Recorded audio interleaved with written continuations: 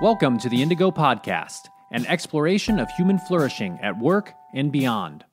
I'm Ben Baran of Indigo Anchor and Cleveland State University. And I'm Chris Everett of Indigo Anchor. For more information, please visit us at www.indigopodcast.com.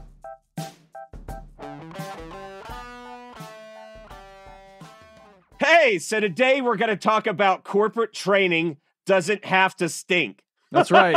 and I think most of us have probably been through some pretty stinky corporate training. Have you ever been through some training that doesn't or that's uh bad? Yeah, not only have I been through it, I've had to conduct it myself. And you're looking at this stuff and you're like, God. But you know, we you say, are guilty. We're saying it doesn't have to stink, but with all the stinky training, won't the good training feel left out? it's like what was this, this joke about Abraham Lincoln was visiting a jail? Like, I think this might be a true story. I don't know. It was in this Abraham Lincoln joke book I had as a kid.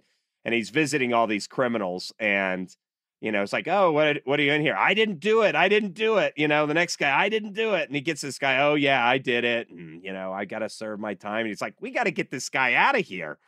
he didn't fit in.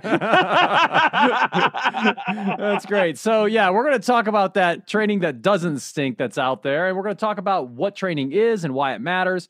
We're going to talk about some ways to design training so that it actually helps people learn, and we're going to talk about some key takeaways for people, leaders, and organizations. So let's kick it off with that first topic, which is what is training? Why does it matter? So, in your own words, Chris Everett, what, what's training about? Well, okay. So I think about because I come out of IT, right? I think about this in the knowledge management pyramid, which people should go Google. Like at the bottom of the pyramid's information, right? And then on top of that is knowledge, right? And then you get you turn that into data right? Or i forget how it goes but you're you're you at the base levels data right? And it, like if a tree fell in the wood would anybody hear it? If there is information that nobody picked up and taught would anybody learn it? Mm. probably not right? So training is about helping people hone current skills. So this is stuff that they can already do to different levels of quality or efficiency or something or to develop all new skills. Right. So it's different than taking a college course on Civil War history, right? Yeah. It's so because that would be getting the information. Right. So yeah, like in college, you you get a bunch of information, get a bunch of information. Then maybe towards your senior years or master's, PhD, you learn to start putting that information together and start, you know, maybe drawing conclusions, using it to help you make decisions, those kinds of things. Right. So there's a great article that we'll post a link to in the show notes from Herman Aguinis and Kurt Kraiger. And they wrote this a couple years ago, but it's still very relevant. And it's called Benefits of Training and Development for Individuals and Teams, Organizations, and Society. And this was in the annual review of psychology. And in that article, they provide some good definitions here. So, what they write as their definition of training is as follows, and I quote the systematic approach to affecting individuals' knowledge, skills, and attitudes in order to improve individual, team, and organizational effectiveness. Right. So, in that definition, you can see this uh, focus on the organization and doing something for the organization's of, uh, objectives, so to speak. So, if you're an organization, you probably should figure out what kinds of knowledge, skills, and abilities do we want to, or attitudes do we want to affect among our people. Development on, on the other hand, is, and, and I quote again, systematic efforts affecting individuals' knowledge or skills for purposes of personal growth or future jobs and or roles. So it's a little bit longer term focused. Uh, it's not necessarily about specific things that are going to improve the team's effectiveness right now.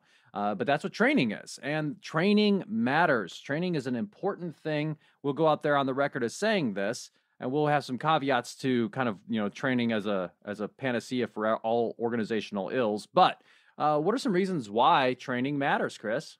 Well, let me just say first of all, you got to have a concept of training. It that training doesn't. I mean, it goes off accidentally all the time. Well, I guess I'll show Philson how to do this thing, right? Right. But if you know when in that definition it's the systematic approach if you mm. want to achieve these positive outcomes you need to be disciplined not only in your thinking, but in your planning, your execution, your reviewing and improving your attempts. Because, you know, you're talking about why does it matter? Well, it daggone supports higher job performance. Right. And everybody's like, well, I, I wish we just can't get good help around here, you know, which is kind of a translation of that performance out of people in my organization is not where I want it, which sounds a lot less numbskully. And that's what we're aiming for, right? Is not to be numbskulls. And two, you want better eh, performance out of your employees. Well, training is going to play a key part in it. Right. And you know, you can go through the the literature and find many studies and you know, empirical support, theoretical support for the idea that having a more robust set of human capital in your organization, you know, the knowledge and skills of your people, uh, that that is a good thing for your organization.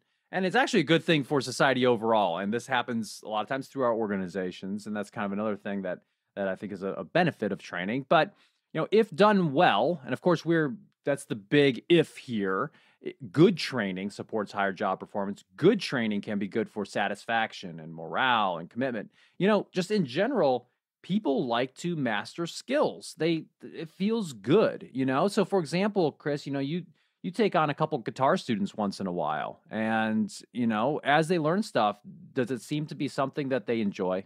Yeah. No, they that's that's why I keep a few students. Now, I don't have to make money off of teaching lessons, but I've devoted so many, gosh, thousands of thousands of hours and playing professionally and stuff that I get a lot of fulfillment continuing to develop my skills. But then I also keep myself sharp by sharing it with other people. And so generally, my students, you know, they'll come in for an hour or two lesson, and then it's like, all right, here's the next things you got to work on. Come back when you're ready for the next lesson. But watching those aha moments, I mean, it's probably why I enjoy what we do so much with organizations and coaching individuals. It's we're continually seeing people because I think Ben, I mean, would you agree? It started off with us be like, oh my gosh, yes, this piece of information or knowledge or ability is amazing. Gosh, I can't wait to go. Sh-. It's like when you eat something good. Here, try this. This is amazing. Mm-hmm. Right, right.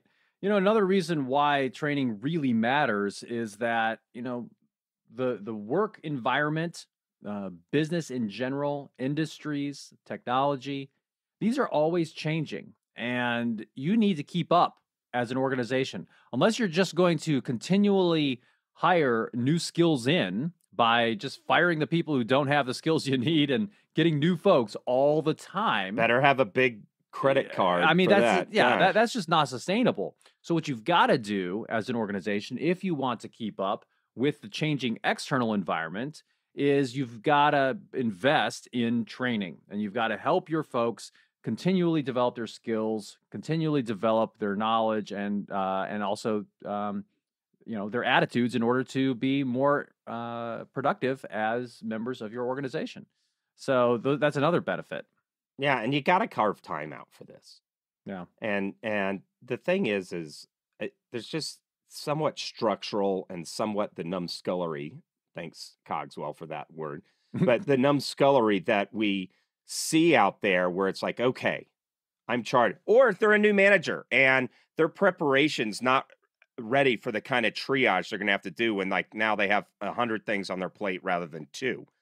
But it's a, okay, we're going to hire this guy. All right, here's the one job you got to do. Go do it. And hey, you need to perform better. Hey, stop stinking. And, and there's no help for that person. And then that person, let's say they come in, they thrive, they're the best one on it, and they want to move up within the organization. Sorry, we we just want you to be a brick in the wall. Mm-hmm. Um, I see this from everywhere and how they do call center, call center training, and all this kinds of stuff. You know, on one hand, we say in our society, you can move on up. And then on the second hand, we have whole swaths of people saying, um, you should buy into the system. It's a good idea. But by the way, no training, and you're going to have to like stab, kill, and stomp, boot stomp your way up to the top here. I, I don't know if that's the best. That's not the kind of society I prefer to live in. And it's not something because one of the things as a manager that you got to develop is the ability to develop others. Right, right. And if you don't, then you're putting yourself at risk for derailing as a, as a leader.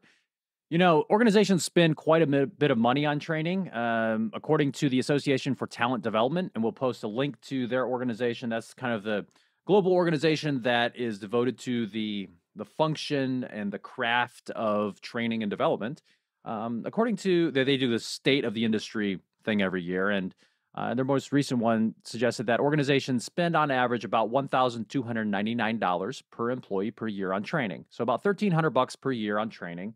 If you multiply that out of, over a workforce, that's quite a bit.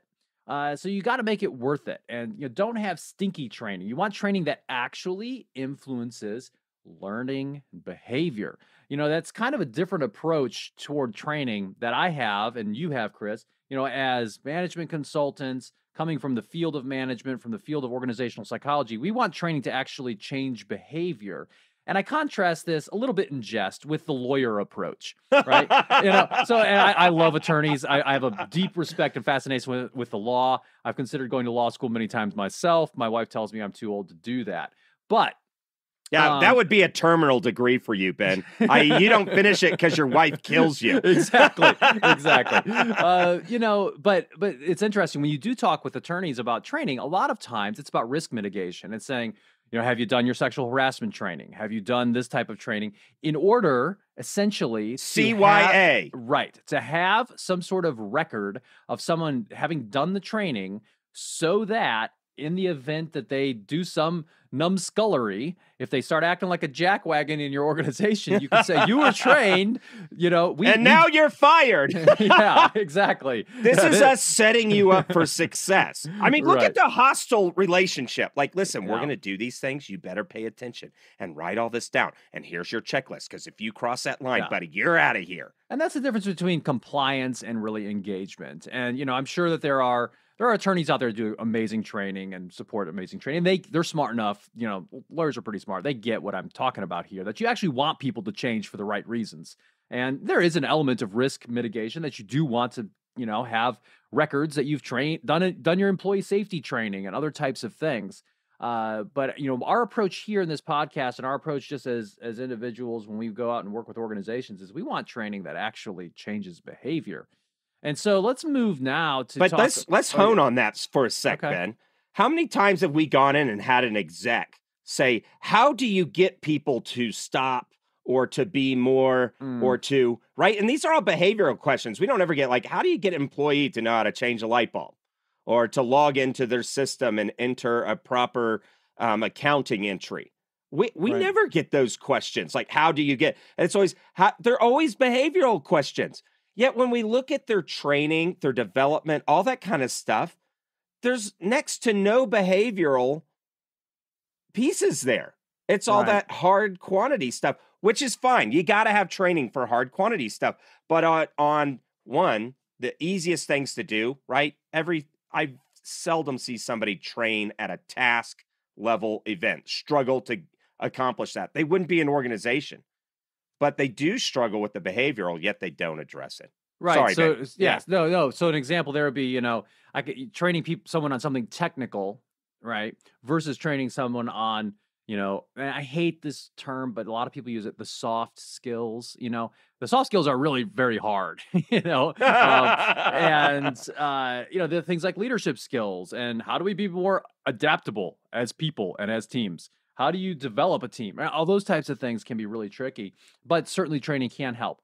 At the same time, I do want to throw a cautionary note out there because you and I come across organizations all the time that come at us with some sort of issue that they have and say, yeah, and they define the problem in terms of the, the solution, right? By saying, hey, we need some training.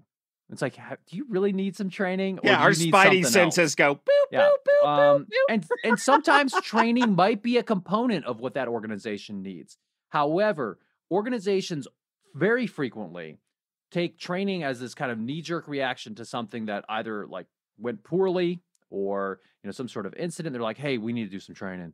You know, that's going to fix things. Well, maybe that'll fix some things, but it's not necessarily going to fix everything. So you know, bad training is also worse than no training at all, right? So we're, we're focusing here on how to make training that doesn't stink. So maybe we can turn our attention there to, you know, how can we design training so it actually helps people learn and do stuff differently?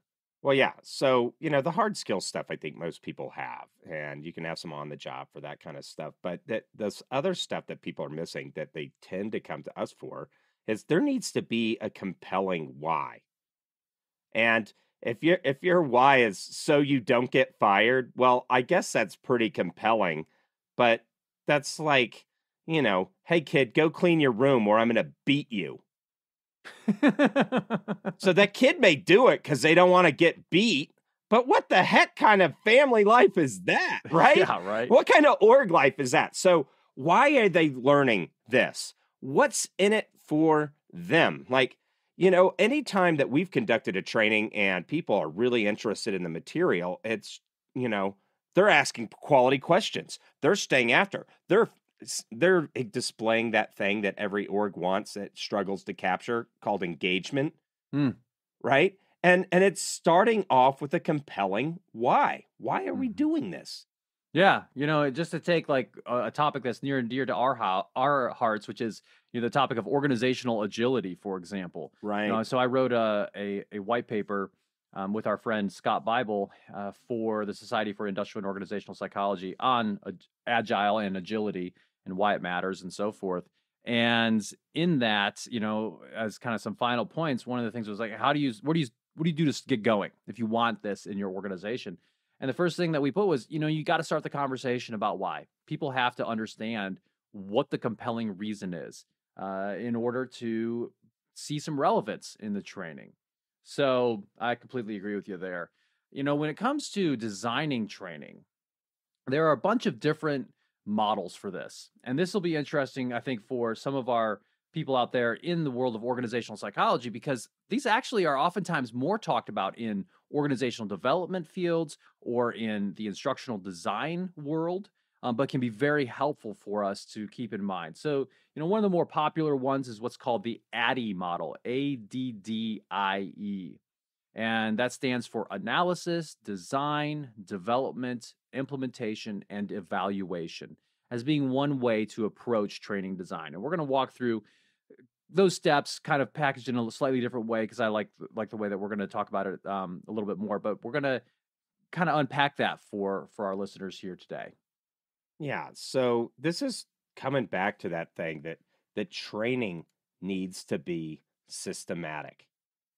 Right? Yeah, you don't just do this, you know, at a whim.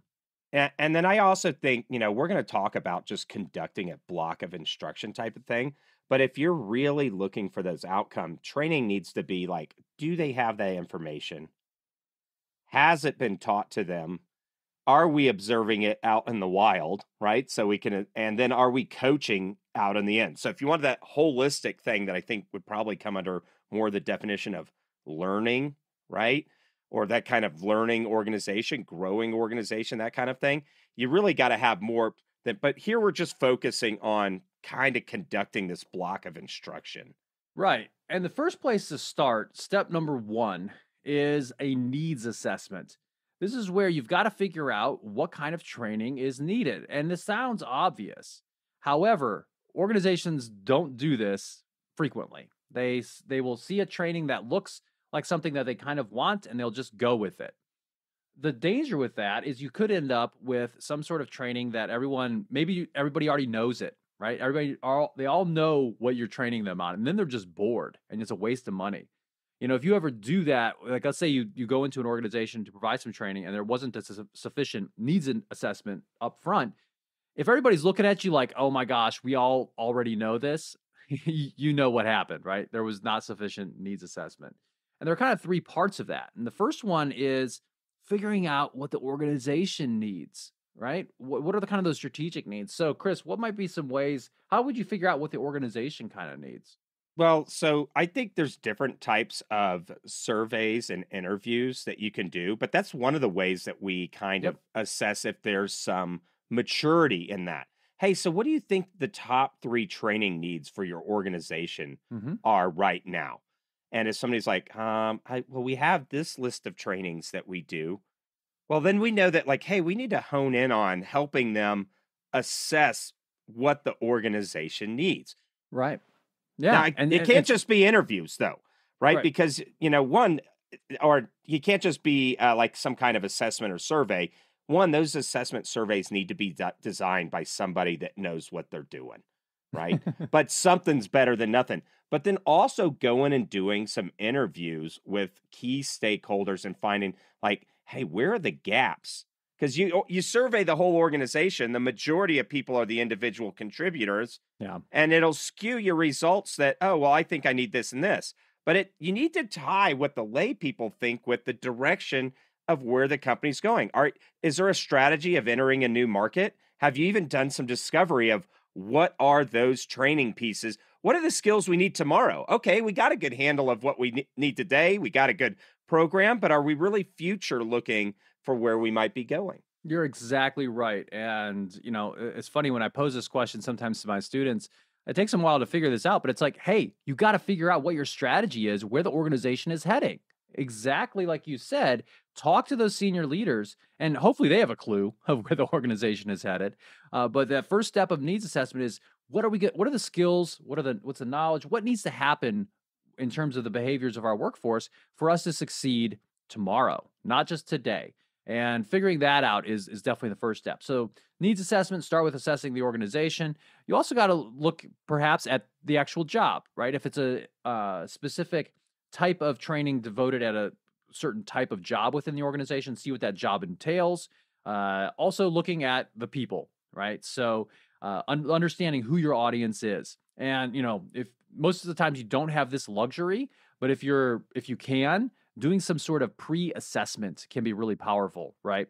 If you can assess their knowledge or skill level before you do the training, then you can tailor, okay, this is kind of the level at which we need to deliver.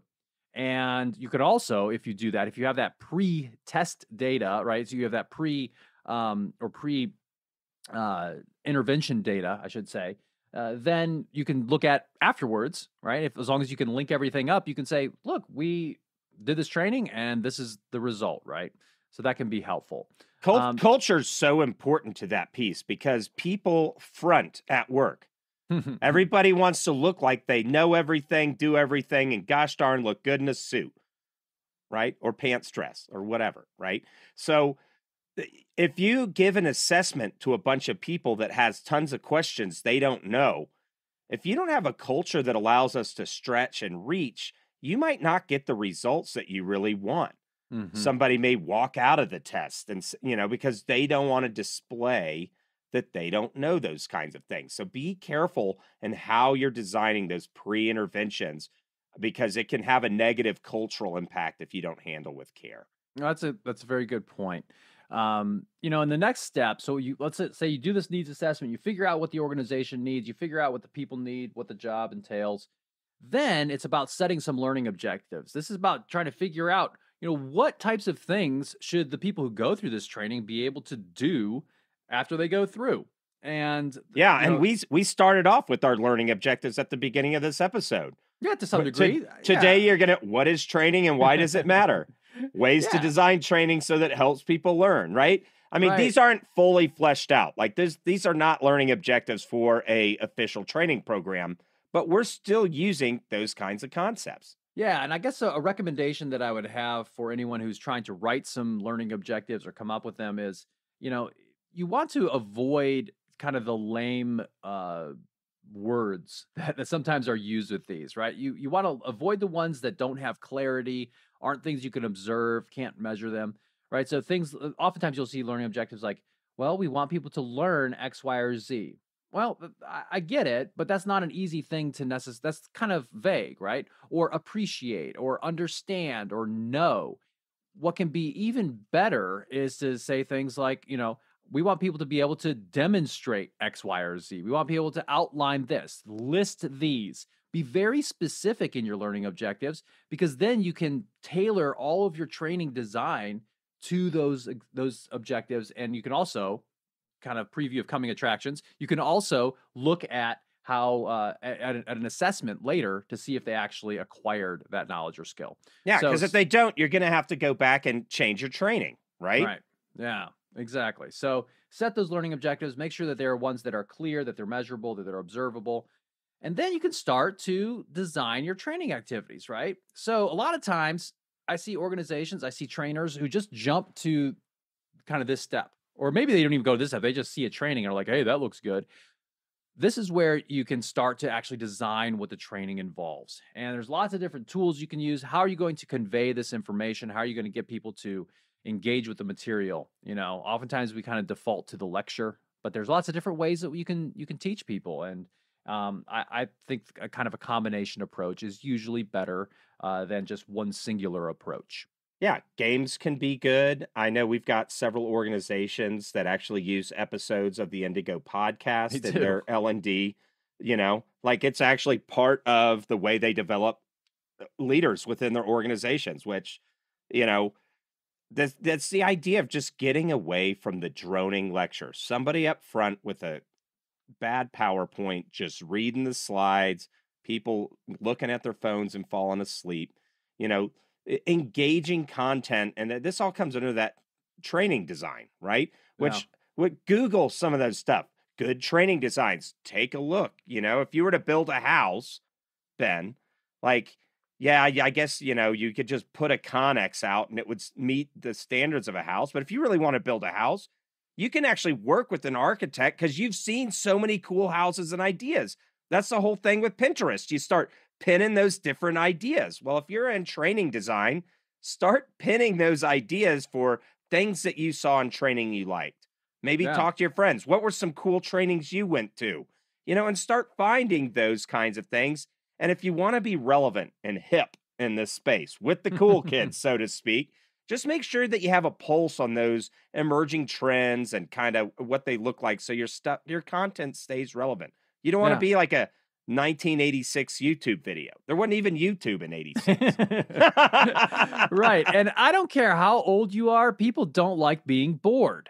Eh, we just don't. And this is actually something we discussed a little bit as we were prepping for this episode was, you know, the ideas around adult learning theory and how different it actually is from how children learn, right? I, I think I don't care how old you are. I think having variety and making things relevant and interesting and exciting we all appreciate that. I don't think there's some magical age you reach at which it's like, oh, now I want relevance. Now, now I'd like to not be bored to tears. Um, so I think a, a corny bad joke is better than a speech without any jokes. you know, like at least take an at bat on making your stuff hip, right? Like. Yeah. So, you know, once you design all these different training activities, you know, these should be, of course, linked to your learning objective, saying, okay, learning objective number one, how are we going to help you know with this this item? Um, have some training activities. Then you want to look at a sequencing of those training activities and how you might put those in a logical order.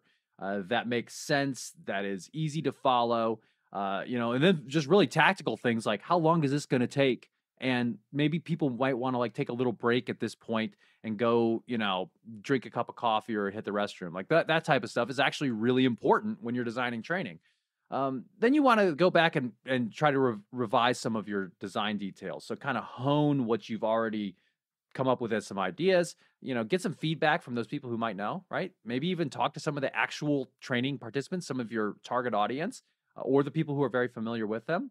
And then you can start to build uh, what's called a training map. And this is just a simple document. I find this to be really helpful, especially when I'm doing a training for the first time just a, a little table that says, okay, here's my learning objective, like column one, right? Column two, here's some activities and what I'm going to do to help support that learning objective. And then column three, my estimation of how much time that's going to take, just to keep yourself on track, so you're you're moving in a you know through all of your learning objectives in a logical way. Uh, you know, so if you're out there purchasing training as a as a as an organization and vendors are coming at you, you know, this is the type of thing I would want to you know encourage you to look for. Uh, look for what are your learning objectives. Tell me how this all links together. All right. So we've talked about needs assessment, setting your learning objectives, designing your training activities, sequencing those training activities, revising those design details. The last one is evaluation, evaluating that result. Um, this is one that oftentimes gets missed, I think, Chris. Yeah, I mean, you're tired after the gauntlet of going through it, getting getting it agreed, aligning with the strategy. Probably so many meetings you want to puke if you have to even think about another meeting about the training. Yeah. Then you then you finally uh, a beta it. Now you got to go evaluate and put the final sheen. This is what separates the pros from the hacks, right? Is evaluate the total result. Like, what is the reaction of the people that are sitting in there? You know, sometimes you could even put up a little, you know, camera and like film participants or something while you're delivering it. You should film if you did if you're about to deliver and you just did a train the trainer and you're concerned about the training that's going across your enterprise level organization, you want to have some way of evaluating the way your trainers are delivering, right? Yeah. Well, and this is also an interesting topic for um you know the the outside vendor who's coming in to do training for you. Because you think about it you're an organization you purchase this training from someone from the outside they probably want to continue doing training with your organization. There is a eh, i would say there's there's an incentive for them to not do the evaluation piece you know because they they don't want there to be any possibility of there being negative reactions and they want to keep doing business with you if they're a great vendor though they will have something built in to do this, right? So that they can continue to deliver something of value. And Um, don't there- be ready to stone them. Like Right. if you see some negatives, you just be like, "Ooh, do we need a calibration?" You know, there's I see a lot of throwing the baby out with the bathwater of, "Oh, we'll let the vendor take the fall." Well, one, that's not cool. That's somebody else's family and, and hard work and effort. Um, but the second thing is like any nothing's perfect. And so you need Great to be point. pragmatic in how you're evaluating. Like, okay, we just need to spruce this on the, the second, you know, iteration. We'll we'll change this one piece. Yeah.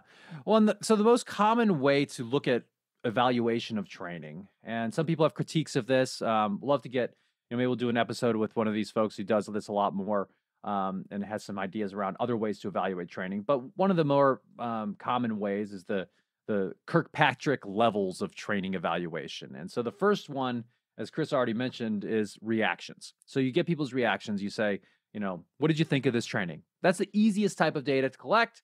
It's not uh, necessarily that informative, other than I liked it, I didn't like it. Uh, but it, it is a level of training evaluation. The next one, though, is learning. And this is where you would actually assess whether or not they learned something from the training. Now, it's a little tricky if you only assess this via a test or a survey or something afterwards, because you don't know if that's due to the training or if it's just something they knew already if you didn't do a pretest. So it's it's oftentimes great to have your need your assessment, uh, your needs assessment be, be tied to your um you know to your actual evaluation afterwards or something thereof, right? Where you And if it's- pre if it's a long training, maybe you have some intermediate tests as this thing. So if it's a Great six point. month training program, yeah, don't, wait, to the end. That's too much. You it'll be hard to parse. Yeah, yeah, because then you can't calibrate, right? Uh, and then the next level is behavior. So seeing if people actually act in different ways based upon the training. Now, the requirement here, though, is that you have to wait until people go back to their jobs. You have to give it some time. Uh, and you might, for example, get evaluations from people's supervisors. Say, have you noticed that, you know, are people doing anything differently? Or can you rate this? That's that's the behavior level. And then results level is usually referring to more organizational or team level results. You know, we did this sales training. Did sales actually go up? That's results level. There's a lot of other variables that can come into play there, um, but that is, you know, kind of a, a, a higher level of training evaluation. So, okay, um, let's talk a little bit. And so, those are some kind of six steps to consider when designing training. Let's talk about training delivery a little bit. Yeah. So just in case you thought that, hey, this is your cohort, that's still pilot mode. Now, now you have something that's been evaluated, pre-test, beta, designed, sequenced, all that stuff. Now you're actually ready for prime time that this can be an ongoing piece of training that can go into your org. First one, don't be boring, guys. Nobody likes it. We just don't like being bored. Bored, uh, it- you know, regardless of our age, especially if we're busy and maybe we didn't really want to be at the training to begin with. Like we, it needs to be engaging for people. Uh, so another way to do that is to keep it focused on the learner, keep it relevant to things that they actually can use in their job. A whole nother topic, which we're not really going to touch on too much today, but you know, I think is relevant, is this idea of training transfer. You know, so you can learn a bunch of stuff, but do you actually take it back to to the job? And by having it be stuff that's really relevant, that can can help, that can support it. There's other things too, but that's one thing. Um, and then, as we already mentioned, use a variety of methods. Right? You know, if you put out a bunch of stuff, say, "Hey, you must read this before you come to the training." Some people might read it. A lot of people might not. You know, um, maybe even provide time during the training for people to read something short.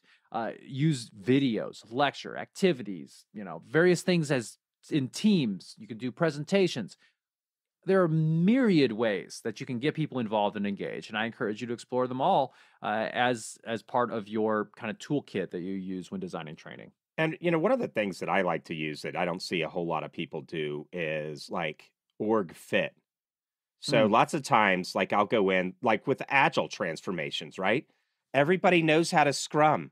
They understand the agile methodologies but then there's something in the organization that prevents them from executing on there's this cognitive dissonance like wait a minute i was told that character and integrity meant this. I go to my job and i'm asked to do this thing that doesn't have character or integrity.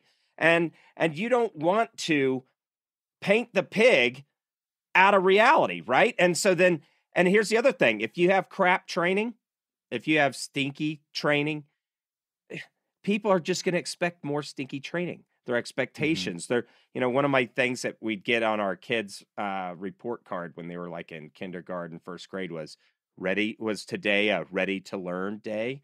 If you want the people in your organizations to show up at your training ready to learn, it you you can't have this pantheon of bad training that they've already been to that, that they just expect garbage their minds are already shut down that's going to be hard to turn that cultural dynamic around but then on this other side, culture org fit of your training, make sure that your own organization's living up to the values, the skills, the abilities, those kinds of things that you're daggone saying that you're expecting from your training that you're giving.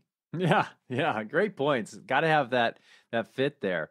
You know, another tool that uh, you know we can explore, uh, I think, in future episodes is the idea of using games. And so there's a whole host and kind of this burgeoning area of research and thought around how various types of training can be gamified, so to speak. Uh, and we'll get an expert on here to talk more about that. But you can even use simple games to teach things. And I'm reminded of a, a little session that I had the pleasure of being a part of, uh, of about 10 years ago or so, where this guy named Thiagi, and Thiagi, that's that's short for a very long name.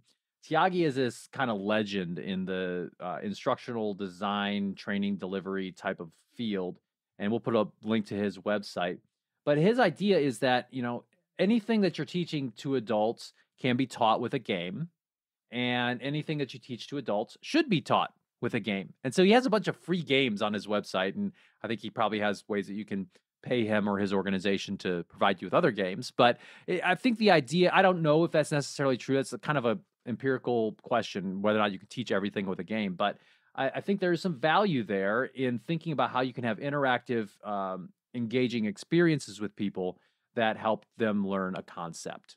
Yeah, because it, it comes out of the realm of the mind. Like I could spend 20 years lecturing you about boxing. And we'd say this all the time. Well, here's a book, book on boxing. Now get in the ring, Jagwagon you know but like we could go through we could just you know look at a youtube video with all kinds of punches and and dodges review famous fights and you would have such you know as the years went by you'd have such a detailed knowledge of watching boxing but you'd have next to not, next to nothing about what it feels like to take a punch and recover and how to how it actually works when you're against an opponent in real time games help you do a bit of that rehearsal.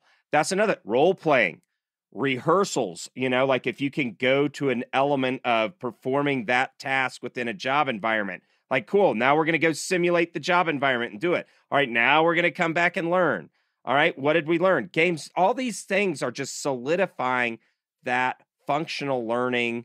There's probably a really detailed science term for what i'm talking about but that gets you to done on do the people have mastery of this you know issue right right so I, what I'm taking from what you were just saying is that if I'm sitting on the couch playing Call of Duty, uh, that I'm not actually serving my country? No. yeah. And and I won't even even if you said you'd go, like I'm not gonna put a a M16 in your hand and head over to Afghanistan right. with you. No way, buddy. You got a gauntlet of training you're gonna have to do and demonstrate right? That's right. That's right. You know, it's I'm, I'm, laughing too because um, in the Navy, I don't know if we still have this, but for a while we had an online training on how to assemble and dis- disassemble and reassemble um, a weapon like an M4. Uh, and but and you guys don't do it every day, right? we don't, but it was funny because, but it was so hard because, like, you know, but but you know, having gone through both, doing it, doing the online training of how to, you know, take apart this weapon and put it back together, and then actually doing it, like you learn it way better just actually doing it, you know, with a piece of metal in your hand. Yeah, I don't know. So anyway, let's move on from there. We've talked a little bit here about what training is and why it matters. We talked about some ways to design training so that it doesn't stink and so it actually helps people learn. Now let's move on to some specific key takeaways for people, leaders, and organizations. So, what are some good takeaways for people here at the individual level? Like, listen, you can't control what quality. You find yourself in a job, an organization, you can't mm. control. You're just a person, right? But one of the things you can do is you can actively engage with the materials. Start writing at some point if you move up the ladder, right? Which you want to move up the ladder if that's something that's in your heart, right? Write down this is what went well, what didn't. Engage actively. J- even with crap training, if you're the only person that's just like, all right, I'm all in, and you're not having a bad attitude, that's going to stick out to people that are Mhm. observing. You know, gee, that was really garbage training, but Ben was paying attention, taking notes, and didn't complain. Right, right. Yeah, I mean, you can. I've done a lot of training and I've taught a lot of classes, and you know, if you have one person, especially if that person kind of has um, various characteristics of leadership and people ti kind of like that person, if that person starts turning on the trainer and starts, you know, oh, this is garbage, eh, blah, blah, right, whining about it, then you know you can really start to make the, neg- the experience negative, even if it was well designed training. And so, don't be that person be a positive participant and hey if if you're in training that stinks it's not going well and if you have the ability you know eh, this is actually an opportunity for you to stand out if you can try to help improve what's going on uh, volunteer to teach some sections of of whatever the the uh, learning is about and um, try to provide some good feedback to help improve it uh, these are key opportunities for you and i think that you know just by kind of uh, saying oh this training stinks um, that just absolves yourself of the responsibility. No, that's not being a leader. There's Uh, no step up. leadership in that statement. Right. You're just a non helpful scumbag, right? At that point.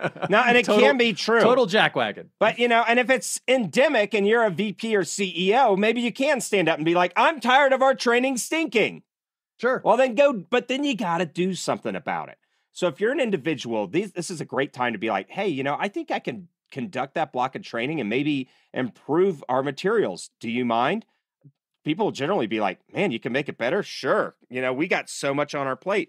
This is a way to show that you're actively engaged in the organization and you're going to be better than other numbskulls because you're going to think about the ADDIE process that we're and the stuff that we're teaching you here, thinking about that process on how you'll help improve that and how you're going to share your knowledge with others. Right. You know, another thing at the individual level about training is this is just a great opportunity for you to really get some exposure and experience by helping to teach, helping to, you know, uh, onboard new people. Those types of trainings can be really great for you professionally. And, you know, it also helps you master new material. It's it's fascinating, you know, you think about your work with guitar students, Chris.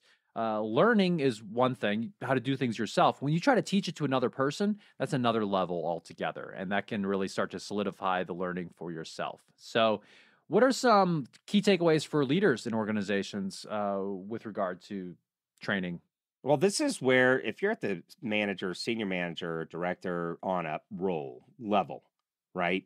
You're not going to be able to do all that training yourself. Well, maybe in a smaller organization you can't, but you have a vested interest in the quality of the training that your team receives. So you need to make yourself a partner with, not a hostile agent too, but a partner with the learning and development or HR part, whoever handles the who comes in and trains, how we design that train, you need to work with them to develop meaningful learning objectives and other things. That, that because this is going to determine the quality as well, I'm not going to say existential quality, but what kind of learning and the uh, functioning of your team on key skills and abilities that you're going to need to push the organization forward and to demonstrate your quality as a leader. Right. You know, another thing you should do as a leader is look out for your people and make sure that they're getting training that they need, training that actually helps them. And it's training that doesn't stink. You know, you don't have to tolerate this as a leader. You should be demanding and expecting and supporting good training for your people. You know, another thing that you can do is to make sure that, you know, people on your team are able to train others and that they know how to do that. This is a great way to develop people's leadership skills. It's a stretch assignment, you know, to help people develop their own skills is to train other people. And uh, that's just a, a really great thing that you can do for your folks. Yeah. And then as a leader, you need to have a meaningful way to evaluate the quality of training that your teams receive. So don't just be like, well, I think this is garbage. You need to have some quantitative ways. So when you go to have that conversation with your training people within your org, you can say, hey, listen, based on the, the ADDIE framework or whatever, you know, this isn't just me saying I don't like you or that teacher. This is, you know, this is a quantitative evaluation of what's going. And look, here's how I'm capturing how my team's performing after your training, right? but it's it's not there. And here's the other thing: is also is a lot of people don't now. The more mature enterprise organizations will say, you know, they'll have some kind of learning management system that can me- measure how many people have been trained, how well they did, or, or how one exec that works in this space was telling me, I can tell all my senior leaders just click through. This is a 40 minute course. It takes the lay people 40 minutes. They just click, click, click, click, click, click. Oh, yeah, I did your training. And it's like, the people in learning and development, like not only do they know that you click through the training real fast, but they can see when the lack of behavioral change in what you're doing that you one didn't give a rip about it and that you just pencil whipped it. And your team, your right. team's suffering. So as a leader, even if you feel that way, just know that uh, people can see that. That's going to be bad for your brand.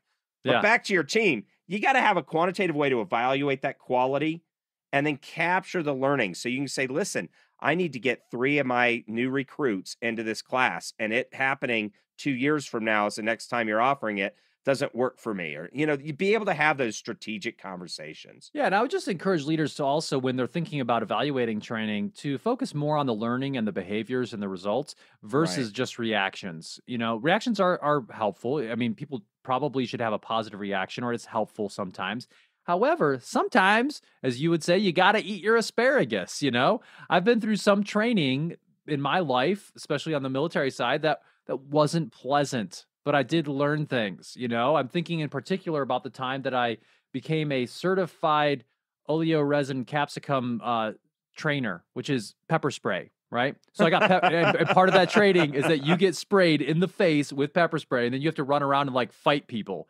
and it is not pleasant at all. Who wants you know? to be this trainer? One, two, three, not it. yeah. Well, no, the trainer's got to spray you in the face. But anyway, yeah, it was so, you know, not pleasant, but you really do learn a lot going through that process. So sometimes you got to eat your asparagus. Or just here. think, you know, Galileo conducted the Earth's not the center of the universe training and then spent decades hiding so he didn't get killed.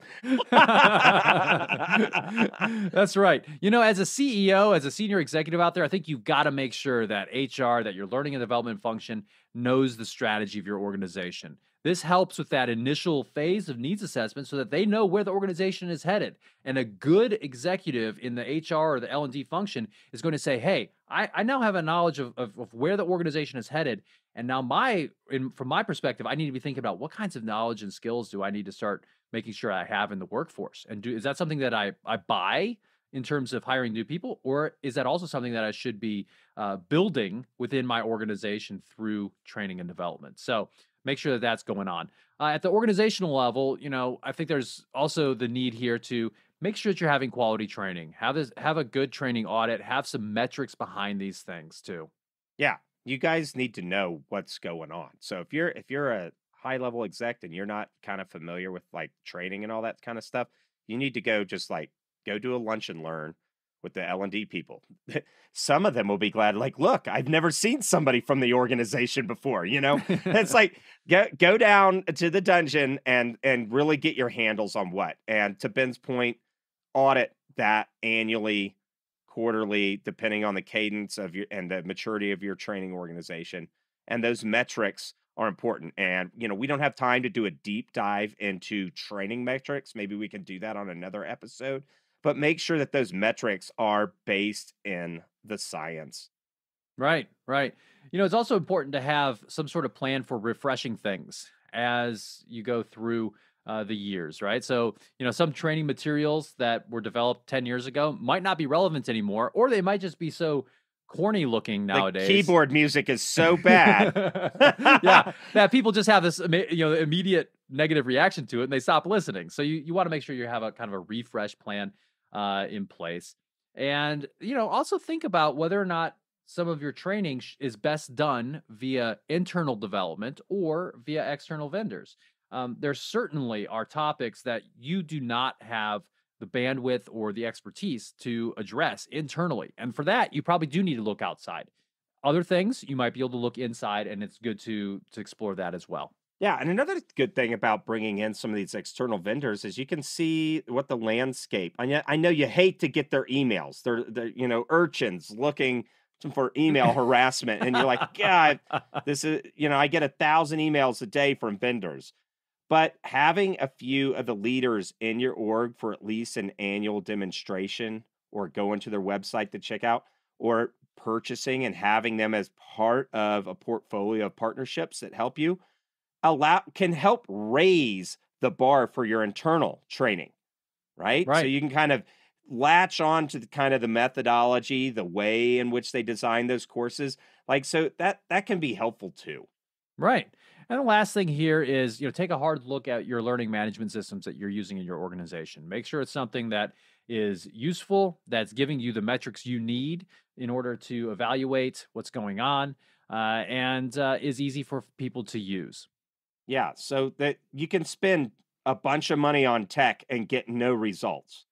Yeah. And then I've seen some people that just keep their training on PowerPoint files that are on a SharePoint site. Mm-hmm. and they refresh them and all those kinds of things. Their software helps you do certain things. And so, you know, determining who got trained across an organization, those kinds of things, that can be helpful. But beware of the, you know, bright, shiny tool actually not doing the work that it needs to do for you and your organization. Right. Remember, what you're trying to do is actually change people's behavior, change their knowledge or skill level, change some results within your organization. So, Today, we focused on the fact that corporate training doesn't have to stink. You can stop the numbskullery out there in its tracks. We talked about what is training, why it matters, some ways to design training so it helps people learn, and we followed up with some key takeaways for people, leaders, and organizations. Thanks for listening to the Indigo Podcast. If you like this podcast, please consider helping us by rating us on Apple Podcasts or wherever you listen telling your friends about us, having us on your podcast, or mentioning us on social media. Our website is www.indigopodcast.com, where you can access more information about us and this episode. Thanks again, and we look forward to talking with you again soon.